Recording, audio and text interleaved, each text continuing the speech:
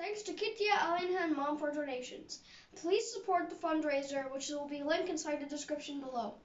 Uh, so I've recently read this book called Emily's Sister. It's a it's a book about Emily's sister, which is called uh, Elizabeth, and she has a sensory processing disorder (SPD).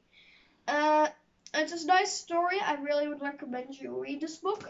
And I have also read three other books uh, during this while. I have read Diary of Minecraft Zombie, an unofficial Minecraft book, which is book one.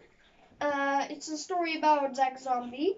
Uh, Dogman and the Brawl of the Wild, one of the most latest books from the Dogman series. And I have also read the second last book inside the Dogman series, like the second latest book inside of the series so far. Uh, Dogman Fetch 22, which is bigger than the last book uh, for some reason. Uh, so I really would like uh, for you to donate as well. And it's MS Ireland Readathon all November. Bye.